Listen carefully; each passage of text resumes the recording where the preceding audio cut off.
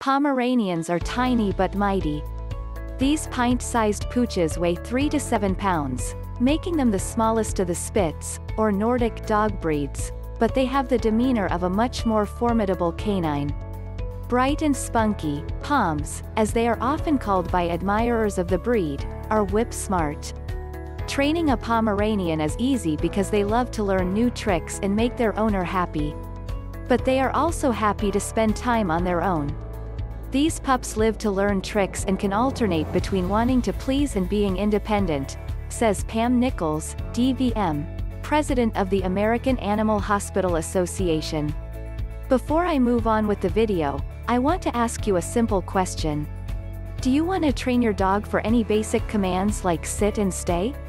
Do you want to stop any of the behavioral problems of your dog like pooping inside the house, biting, jumping, or barking? If your answer is yes, please grab the free Dog Training Secrets Guide in which I have disclosed the deepest dog training secrets that professional dog trainers don't want you to know about. These training secrets would help you have a well-behaved, super intelligent, smart and obedient dog without spending hours in training him or her. This secret training technique ebook is available for free only for a limited time. So go and grab it before it's too late. Link to the free ebook and training videos is in the description below. Appearance. There's much to love about the Pomeranian's smiley face.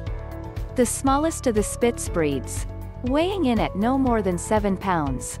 Their face is often described as fox-like thanks to a wedge-shaped head and erect ears. Their sweet, almond-shaped eyes are dark and their noses are either dark or the same color as their coat. Temperament. The Pomeranian temperament matches his proud looks. Alert and inquisitive, Poms spend their days lively and active, without being hyperactive. They're just gentle little souls and they have this funny sense of humor, Nichols says. Pomeranians are, just funny.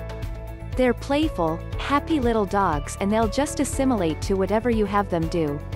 If you teach them to ride in a purse all day, they will. If you teach them to be a little outdoor fetching dog, they will. They'll do whatever you want them to do. Living needs. If you're older or have a busy schedule, Pomeranians make an ideal pet because they don't need much pampering or fussing. Poms are also an ideal indoor pet, perfect for apartment life or in a home with a small yard, or without a yard at all. They don't take up a lot of space, but are surprisingly hardy, active little pups who enjoy getting out for walks. They especially love to meet new people and furry friends along the way. But do keep an eye on them when outside, as they are escape artists, slipping through cracks or even climbing small fences, and are susceptible to predatory birds because they are so petite. Care. A double coat means double the fun when it comes to grooming your Pomeranian.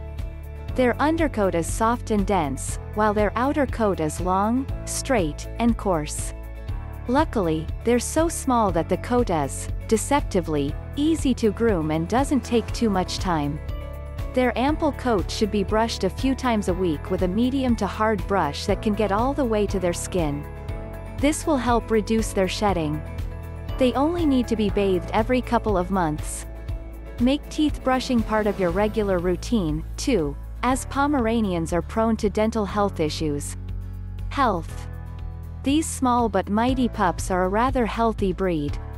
However, as with all dog breeds, there are a few health conditions Pomeranians are susceptible to. Nichols says some Poms suffer from thyroid disease and allergies. According to the American Pomeranian Club, they may also develop epilepsy and have seizures. A variety of eye problems, including cataracts, dry eye, and tear duct problems can impact Pomeranians and lead to blindness if untreated.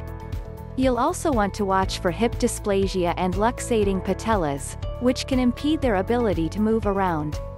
As with many toy breeds, Legg-Perthes disease may be an issue that affects their hip joints. History. Believe it or not, Pomeranians trace their heritage back to large Arctic sled dogs. They are named for Pomerania, an area in northeastern Europe that is now part of Poland and western Germany, where they were bred as a miniature version of the larger, brawny dogs, such as Norwegian Elkhound, the Schipperke, the German Spitz, the American Eskimo, and the Samoyed.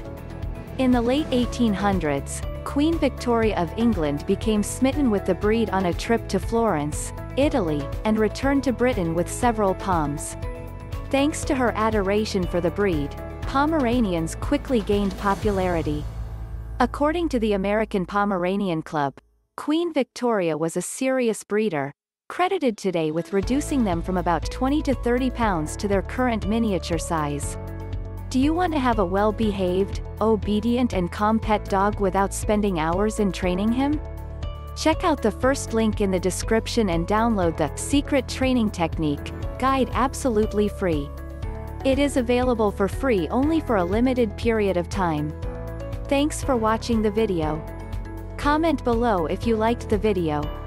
Please subscribe to the channel, Little Paws Training, if you are serious about training and grooming your dog. Also, join our Facebook group where you get all the solutions to your daily doggy problems.